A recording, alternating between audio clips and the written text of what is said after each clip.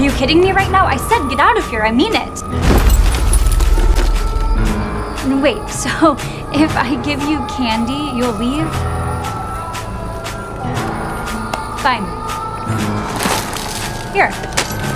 Happy Halloween.